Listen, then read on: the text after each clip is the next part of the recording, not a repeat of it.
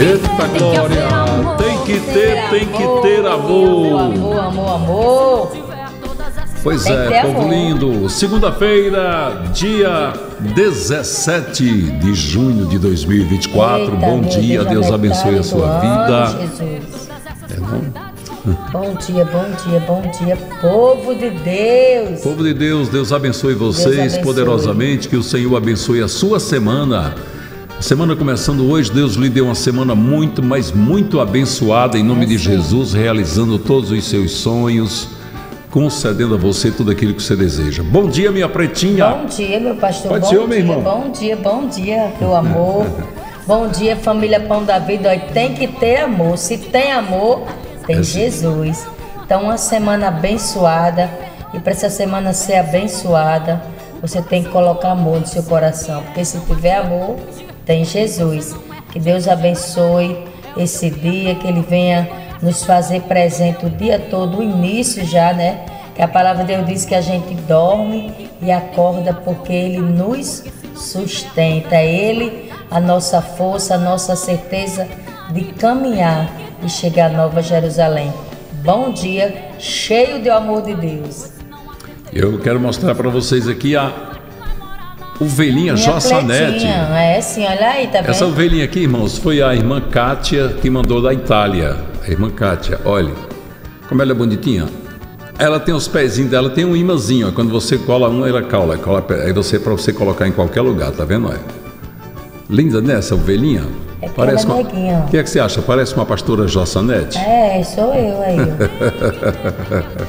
Obrigado, Kátia. Deus abençoe sua vida. Aí botar ela aqui, ficar aqui no microfone, mas eu aqui, ó. Pronto. É grudinho, A grudinho. ovelhinha.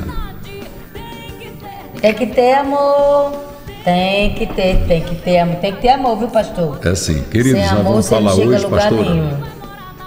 Nós vamos falar hoje sobre uma qualidade que Deus ama muito em todos nós. Essa qualidade é honestidade. Deus ama aos seus filhos e filhas que são honestos. É muito importante a gente falar sobre isso. A honestidade é falar a verdade, viver de maneira íntegra. Deus se agrada da honestidade porque Ele é o Deus da verdade e odeia mentira. Verdade. E Deus abençoa muito quem é honesto. O crente deve se esforçar para ser honesto, abandonando a mentira, o roubo, o engano, a hipocrisia. Quem é honesto dá bom testemunho. A pessoa honesta ganha confiança de outras pessoas e representa bem ao nosso Senhor e Salvador Jesus Cristo. Veja o que está escrito na primeira carta de Pedro, no capítulo 3, no versículo 2. Observando a conduta honesta e respeitosa de vocês. Está vendo? Pedro estava dizendo, observando, quer dizer, prestando atenção, olhando para a conduta honesta e respeitosa de vocês. O crente ele tem sobre a sua vida uma nuvem de testemunhas. Para onde ele vai, amor? Está todo mundo olhando. É verdade. Olha o salmista no Salmo 112, no versículo 5, o que é que diz? Feliz é o homem que empresta com generosidade e que com honestidade conduz os seus negócios. Pronto. Existe, por exemplo, muitas pessoas que se aproveitam de alguém que está passando necessidade, de alguém que está passando por uma dificuldade financeira, e eles querem prestar o dinheiro com juro altíssimo. Na opinião deles, estão tendo vantagem, mas não tem. Isso chama-se usura e é um pecado diante de Deus. Sem falar de outras maneiras, a pessoa deixa de ser generosa, deixa de ajudar para se aproveitar daqueles que estão realmente precisando de ajuda. Aleluia. Veja o que diz o livro de Provérbios 16, versículo 13. O rei se agrada dos lábios honestos e dá valor ao homem que fala a verdade. Está vendo? A palavra que estava estava referindo-se aos reis de antigamente, às autoridades. Hoje é toda autoridade ama a quem fala a verdade, a quem é honesto e dá valor a essa pessoa. A própria palavra de Deus diz: a lei só é ruim para quem não obedece, mas para quem obedece é uma maravilha. Salmo 15, versículos de 1 a 3. Senhor, quem habitará o teu santuário? Quem poderá morar no teu santo monte? Aquele que é íntegro em sua conduta e pratica o que é justo, que de coração falava a verdade e não usa a língua para difamar, que nenhum mal faz os seus semelhantes e não lança calúnia contra o seu próximo. Está vendo a palavra dizendo aqui? Quem é que Aleluia. vai habitar no teu santuário? Está dizendo quem é que vai para Nova Jerusalém morar com Jesus Cristo? A palavra vai dizer: aquele que fala a verdade e não usa a língua para difamar, que nenhum mal faz ao seu semelhante e não lança calúnia sobre o seu próximo. Para você ver como Deus detesta quem levanta falso, quem mente, quem levanta calúnia.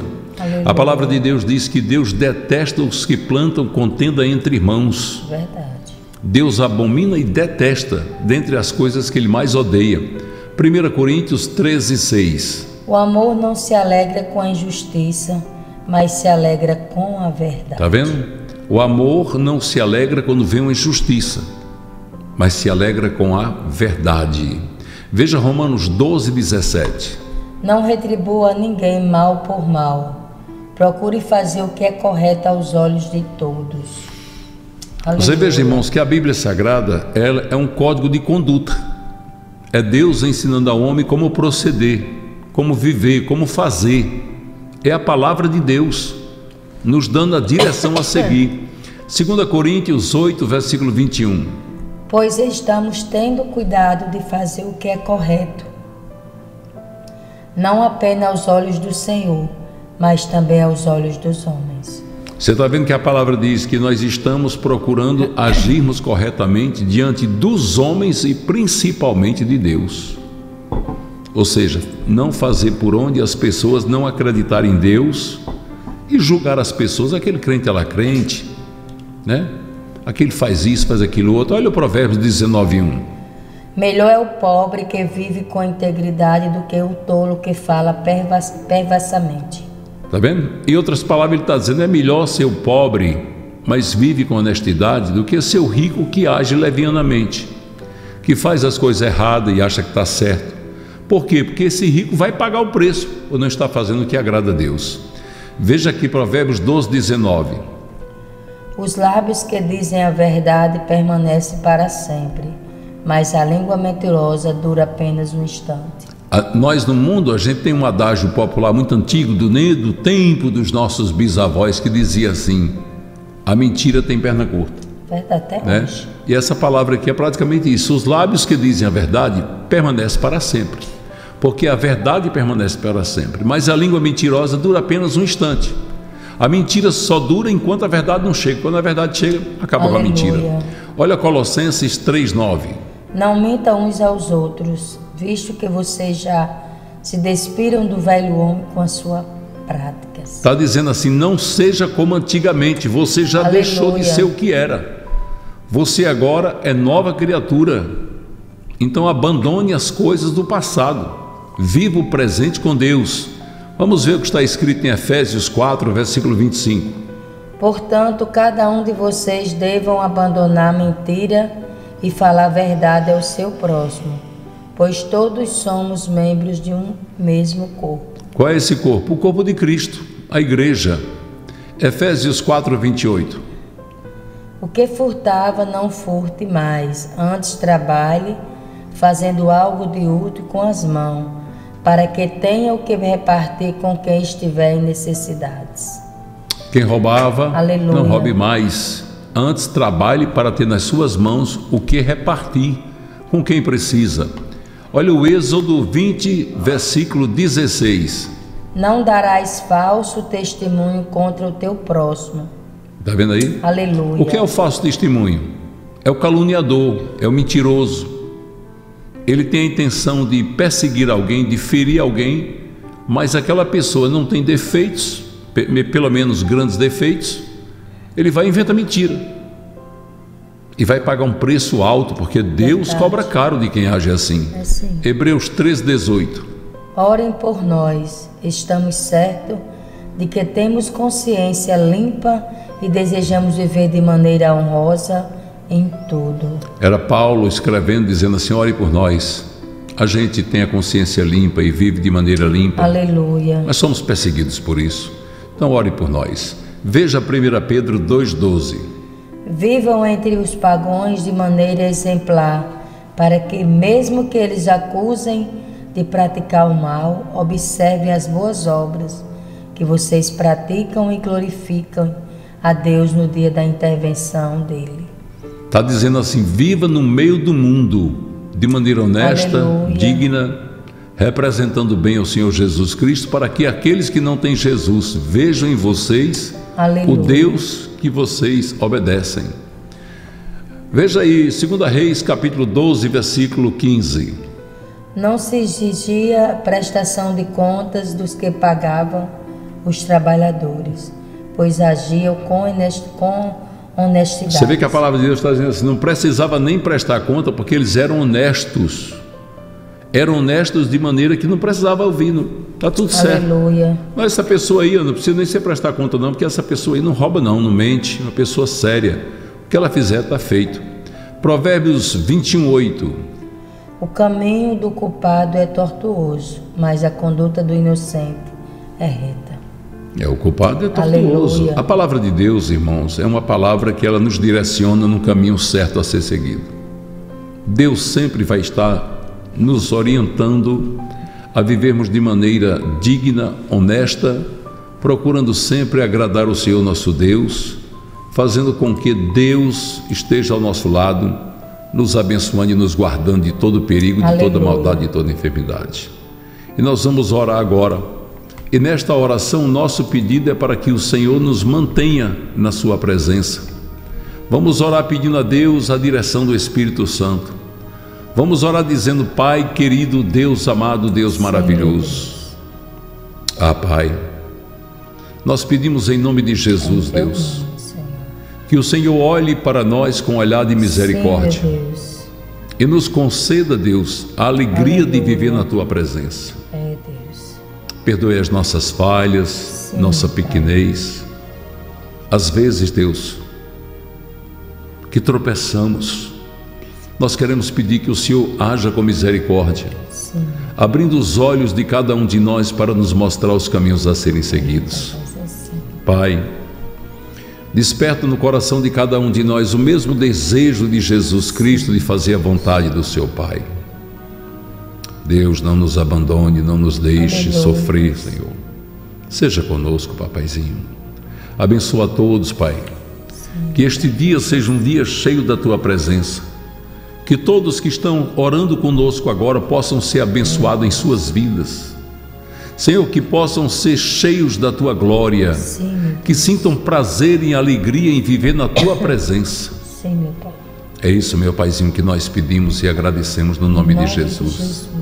Abençoa, meu Pai, poderosamente a vida de cada um dos teus filhos e filhas, abrindo portas para os que estão desempregados, abençoando os que estão, Senhor, sem rumo, dando, Senhor, a mãe de família, o pai de família que tem os filhos nas drogas, o direito de viver na tua presença. Pai, eu te peço em nome de Jesus, que o Senhor possa abençoar poderosamente a mãe de família que está preocupada, a mãe de família, Deus, que tem buscado no Senhor a solução dos problemas da sua família. Deus, quantas mães têm seus filhos prisioneiros, e choram, Senhor, sabendo que seus filhos vivem numa cela, pagando pelos seus crimes. Quantas mães têm seus filhos doentes e não sabe o que fazer e clama Deus para que a tua bondade esteja presente na vida de cada um deles.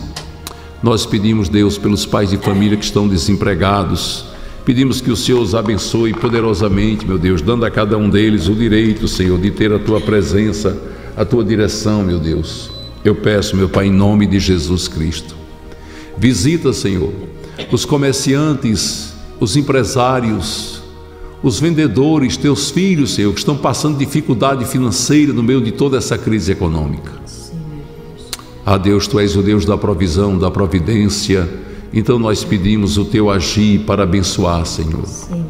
Oramos pelos irmãos do Rio Grande do Sul todos os dias, pedindo que o Senhor os ajude a reconstruir suas vidas que o Senhor possa abençoá-los poderosamente. No nome santo e poderoso de Jesus Cristo. Pai, abençoa com teu poder, com a multiplicação. Os irmãos e as irmãs que são dizimistas, ofertantes, que têm votos e propósitos com a casa do Pai, com a Igreja Pão da Vida. que ajudam a tua obra a crescer, a multiplicar. Abençoa, Paizinho. Abençoa nossos pastores e pastoras, obreiros e obreiras, nossas moderadoras, moderadores, nossas ovelhinhas amadas. No Brasil e no mundo, que a tua mão poderosa esteja estendida, abençoando a todo instante. É isso, meu Pai, que nós pedimos e agradecemos no santo e poderoso nome do teu filho amado Jesus. Amém, Pai. Amém, papai. Glória a Deus. Muito bem, amor, nosso coraçãozinho cheio de amor por Jesus e por vocês. Beijo, inscreva-se aqui no canal, dê o seu like, compartilhe. Daqui a pouco o pastor Gabriel Batley, o Bom Dia Jesus do canal Rádio e TV Pão da Vida. Logo depois o pastor Chico Chagas vai estar comunicando com vocês no culto do lar. Em nome de Jesus, é o meio-dia tem um pocinho de Jacó com a bênção de Deus para a sua vida na campanha Força, Fé e Vitória. Amém? Amém. Beijou! Fica na paz. Obrigado. Não esqueça, meio-dia no Pocinho de Jacó no canal Igreja Pão da Vida Mossoró. Força, Força, fé e vitória. Vitória.